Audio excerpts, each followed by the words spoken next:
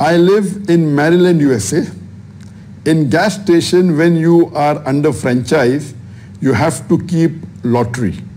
Franchises don't give you the option of removing lottery from the business. Lottery money is 10% to 15% of the earnings. But as a gas station owner, stroke dealer, lottery has to be registered on your name. I know that lottery money is not halal, but in gas station, that is not the main source of income.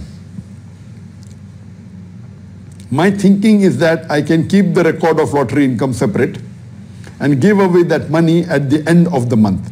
Please guide me, Jazakallah.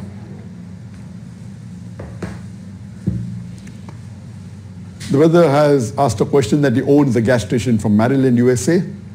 And in the gas station there, it's compulsory that you should keep a lottery if you want the franchise of the gas station. And he knows that lottery is haram, so he is saying that can we calculate the amount that I earn from the haram lottery and give it away? Is it permissible? Allah clearly mentioned in the glorious Quran in Surah Ma'idah, chapter number 5, verse number 90. Ya ayyuhalladhina amanu. Oh, you believe. Innamal khamru wal maisuru. Most certainly intoxicants and gambling. Well, anzabu al azlamu. Dedication of stones, divination of arrows. Rijsam shaitan. Abstain from it that you may prosper. I say, Ya lizin amanu innamal khamru wal maisuru, most intoxicants and gambling, wal anzabu wal aslamu, dedication of stone, divination of arrows, rishtum min amil shaitan. These are Satan's handiwork. Fashtanibullakum tuflihun. Abstain from this handiwork that you may prosper. So here Allah subhanahu wa ta'ala is very clear in Surah Ma'idah chapter number 5 verse number 90 that intoxicants and gambling, divination of arrows, dedication of stones, these are Satan's handiwork, abstain from it that you may prosper. So lottery comes in gambling and it is prohibited and you rightly said it is haram. The question is that the earning is about 10 to 15% of his total earning in lottery. Can he give that away in charity and continue with the business? If you're the owner of a business, you cannot do even 1% haram activity. Leave aside 10 or 15%. You cannot say, I will earn, I will sell alcohol and the alcohol earning is only 5%, I'll give that away in charity. Is it permissible? It's not permissible. If you're the owner and you have full control of the business, you cannot at all do even 1% haram activity in it. You cannot sell even one good, even it may be 0.1% of your earning. That's a different question if you're not the owner. If you are working in a five-star hotel, which serves alcohol,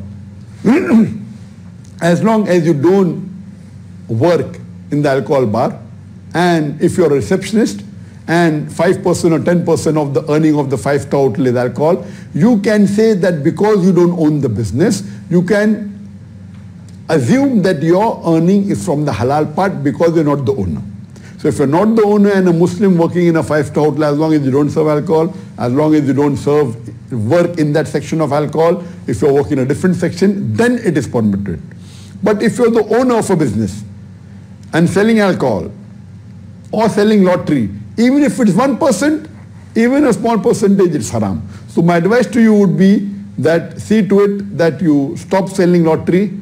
If it's not possible, if you have to give up the dealership, I would say change your business. If they say you give up the lottery, you'll have to give up your business, my advice would be give up the business. It will benefit you in the akhirah. You may never know it will benefit in the dunya also.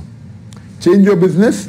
If you can find a way in such a way that you stop selling lottery and continue, that's the best. If you cannot, then change your business, do some other business because gambling is the 20th major sin in Islam according to Imam Adhabi. And here, you are selling.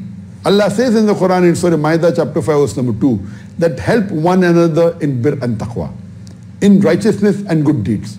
But do not help one another in sin and transgression. So what are you doing? You are selling lottery. That's a bigger sin. So my advice to you would be that if you cannot stop selling lottery, change your business, inshallah Allah will give you better rizq.